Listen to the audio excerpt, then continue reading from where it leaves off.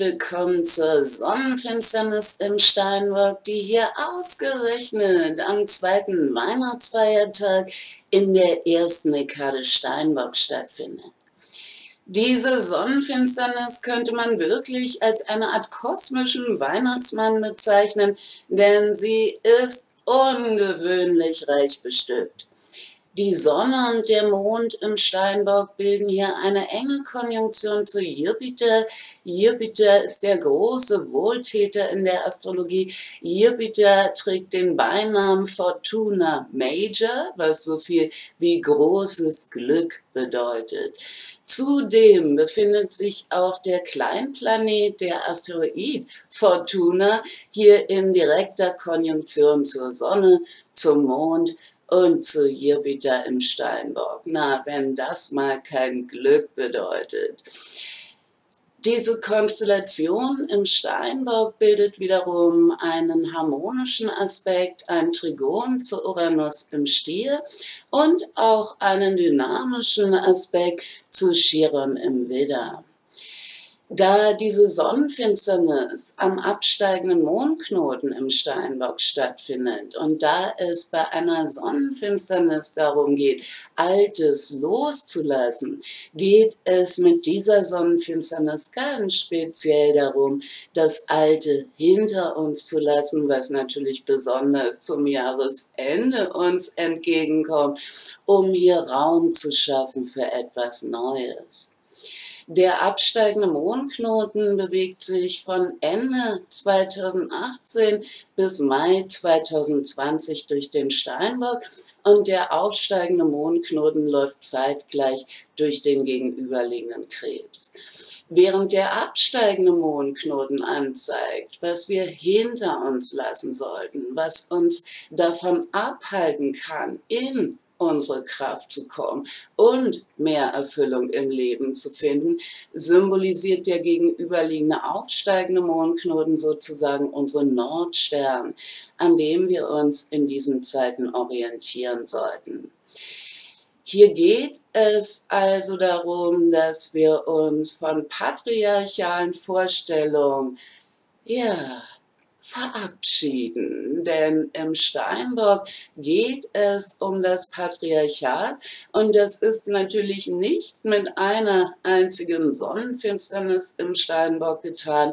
Hier handelt es sich um einen jahrelangen Prozess, den wir durchlaufen. Pluto läuft bereits seit 2008 durch den Steinbock. Mittlerweile befinden sich auch Jupiter und Saturn im Steinbock und von daher ist das das wirklich eine langfristige Entwicklung, also ein langfristiger Prozess, den wir auf individueller Ebene durchlaufen, den wir aber auch auf kollektiver Ebene durchlaufen. Diese Achse Krebs-Steinbock ist die sogenannte Eltern-Kind-Achse während es im Krebs um unser Innenleben geht, um unser Familienleben, um unser Privatleben, um unser Emotionalleben, geht es im gegenüberliegenden Steinbock um unser öffentliches Leben, Karriere, Beruf, äh, Status in der Gesellschaft. Und das heißt natürlich nicht, äh, dass wir in diesen Zeiten, in denen sich der absteigende Mondknoten durch den Steinbock bewegt, hier alle äh, ja, uns nur noch um unser Privatleben kümmern sollten. Aber es heißt dennoch, dass wir halt in diesen Zeiten verstärkt Wert darauf legen sollten, dass wir halt emotionale Erfüllung finden im Beruf. Also sprich, ähm, dass unser Innenleben unseren Beruf bereichern kann und dass unser Beruf uns auch emotionale Erfüllung gibt.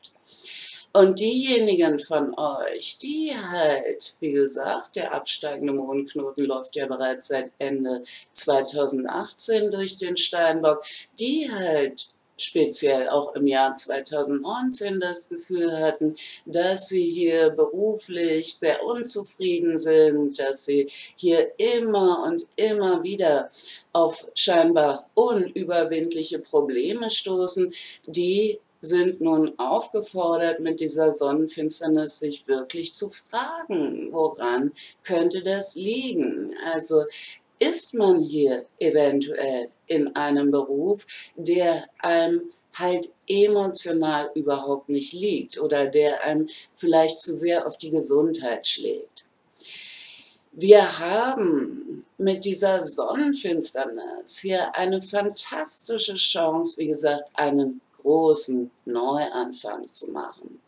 So wie ein normaler Neumond uns jeden Monat die Möglichkeit gibt, hier alte Dinge abzuhaken und uns auf etwas Neues einzustellen, ist eine Sonnenfinsternis sozusagen ein zigfach potenzierter Neumond, der uns langfristig darin unterstützen will, hier etwas Großes, Altes hinter uns zu lassen, um Raum für etwas Neues zu schaffen. Im Steinbock sollten wir uns immer fragen, ob wir unseren eigenen Berg besteigen. Der Steinbock symbolisiert einen Bergsteiger, also jemanden, der ein hohes Ziel vor Augen hat und der alles daran setzt, dieses Ziel zu erreichen. Und äh, dadurch, dass wir im Steinbock enorm vergangenheitsorientiert sein können, weil wir hier auf unseren tief liegendsten Strukturen aufbauen, die natürlich für uns alle mit unserer Kindheit zusammenhängen, können wir hier manchmal äh, einen Werdegang verfolgen, also zum Beispiel uns auf eine Karriere einlassen, die eigentlich mehr unseren Eltern gefällt als uns. Ja? Also meinetwegen, wenn man in einer Familie aufgewachsen ist, ähm, in der es viele Ärzte gibt, dann ist es vielleicht Familientradition, dass man selbst nun auch Medizin studiert und dass man selbst auch Arzt wird. Und wenn einem dieser Beruf wirklich liegt, dann ist das natürlich wunderbar, denn positive Traditionen sollten natürlich weitergeführt werden.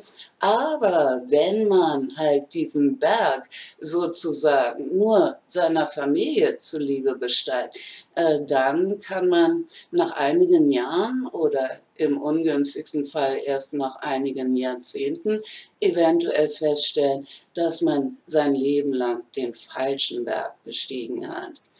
Ja, also von daher ist es nun wirklich von größter Wichtigkeit, dass wir uns fragen, ob wir das Gefühl haben, dass wir uns auf dem richtigen Weg befinden.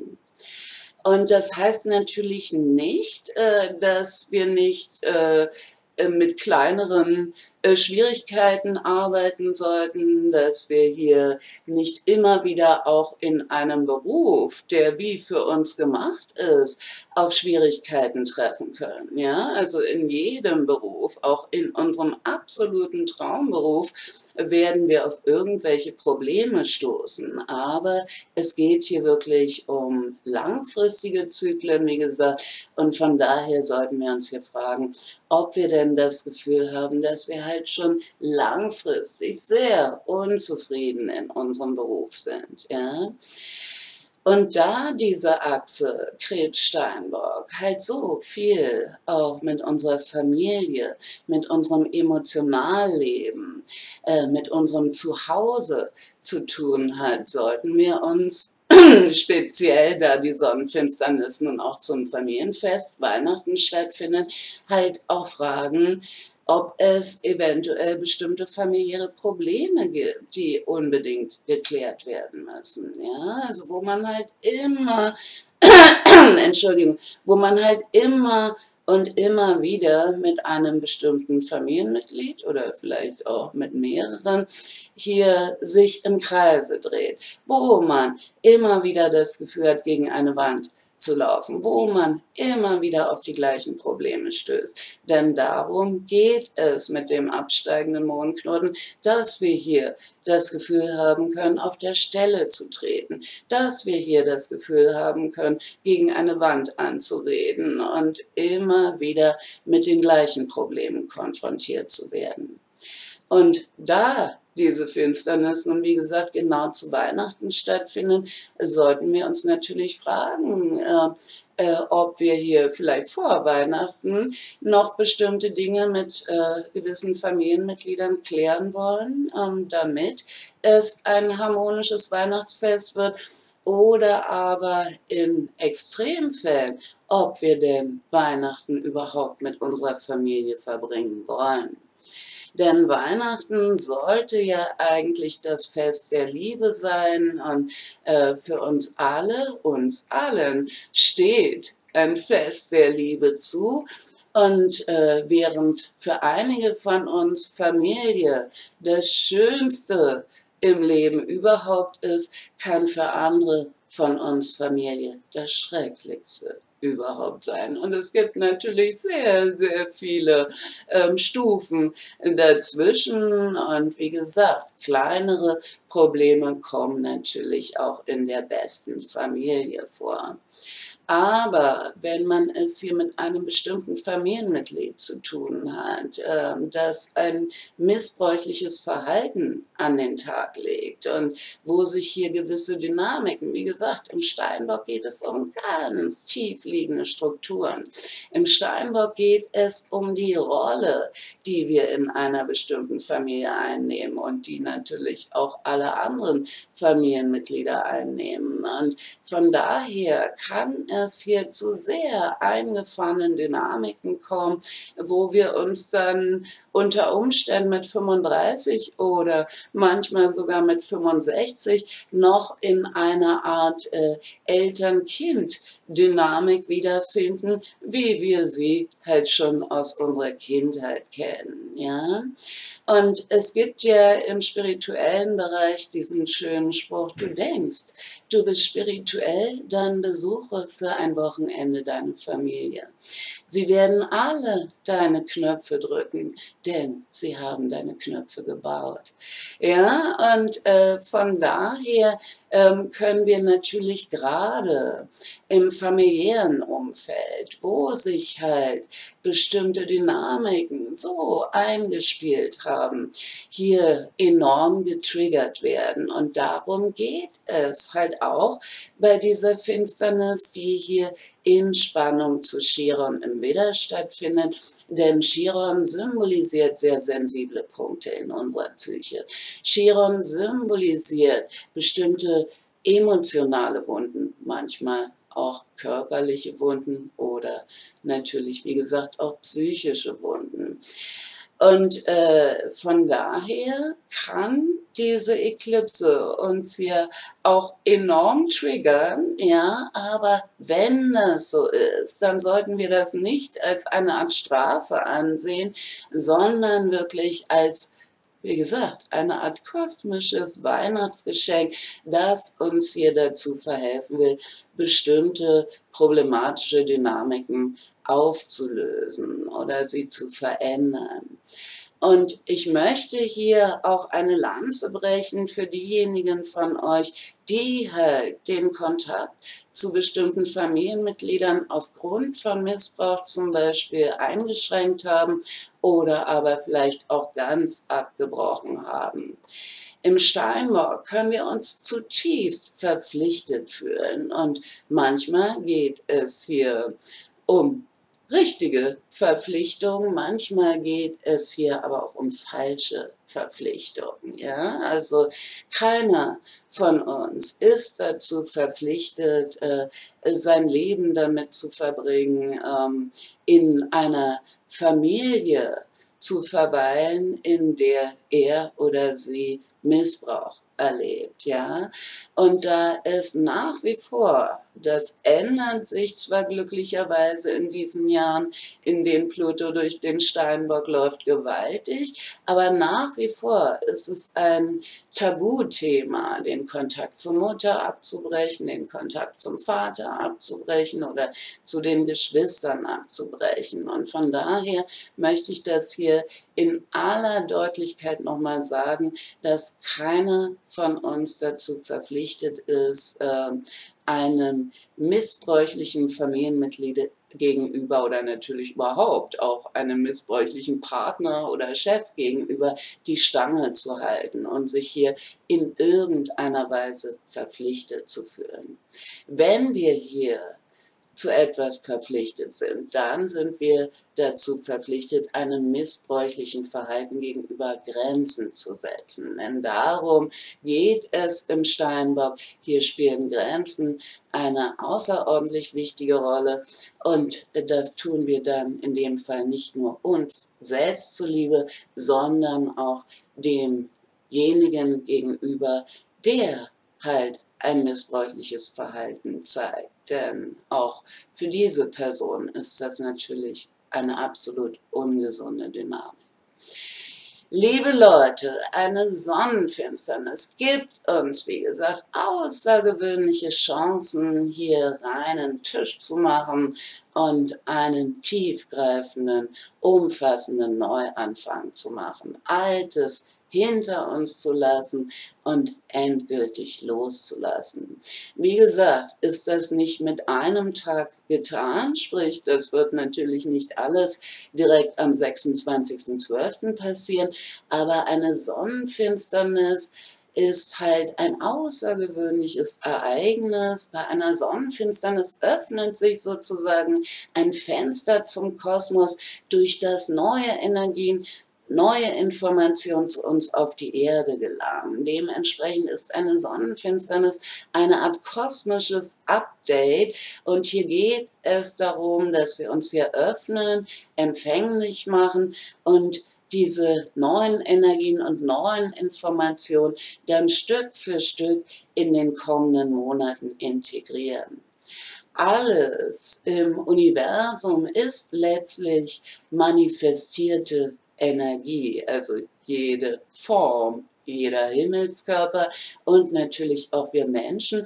bestehen letztlich aus Sternenstaub, ja, und äh, die Erde, die Sonne, der Mond, äh, die halt eine so große Rolle bei einer Sonnenfinsternis spielen, sind halt aus ähnlichen Urstoffen entstanden wie auch wir Menschen. Und dementsprechend können wir hier auf einer feinstofflichen Ebene mit diesem Fenster zum Kosmos, das sich bei der Sonnenfinsternis für uns öffnet, halt diese neuen Energien und neuen Informationen aufnehmen. Liebe Leute, wie immer habe ich einen ausführlichen Text äh, zur Sonnenfinsternis auf meinem Blog gepostet. Ihr könnt ihn euch gerne durchlesen, falls ihr es noch nicht getan habt. In diesem Text beschreibe ich dann bestimmte Aspekte äh, dieser Zeitqualität nochmal wesentlich ausführlicher und auch wesentlich tiefgehender. Wie immer könnt ihr euch natürlich auch gerne persönlich von mir beraten lassen. Ich führe Sitzungen via Skype oder auch telefonische Sitzungen durch. Ich erstelle Aufnahmen zu euren Geburtshoroskopen, zu eurer persönlichen Zeitqualität, also eine Prognose, ähm, zu Partnerschaftshoroskopen, zu Kinderhoroskopen. Auf Anfrage erstelle ich auch Aufnahmen zu ganz speziellen astrologischen Themen, die halt besonders für diejenigen von euch geeignet sind, die sich schon näher mit der Astrologie beschäftigen. Ich arbeite auch intensiv mit dem Tarot und mit der Numerologie. Wenn ihr Lust habt, könnt ihr gerne auf meine Webseite gehen und euch dort über meine Arbeit informieren. Und wie immer freue ich mich auch sehr über eure Spenden für meinen YouTube-Kanal und bedanke mich ganz herzlich bei denjenigen von euch, die gespendet haben. Uns allen wünsche ich eine erfolgreiche Sonnenfinsternis und natürlich ein wunderschönes, besinnliches Weihnachtsfest, ganz gleich, ob ihr das nun mit eure Ursprungsfamilie feiert, ob ihr das mit eurer eigenen Familie, die ihr später im Leben als Erwachsene gegründet habt, feiert, ob ihr das vielleicht mit eurer Wahlfamilie im Freundeskreis feiert, ob ihr es vielleicht auch ganz alleine feiert oder irgendwo in weiter Ferne im Urlaub feiert. Ja? Jedem von uns steht, wie gesagt, ein Fest der Liebe zu. Alles Gute, bis bald, ciao.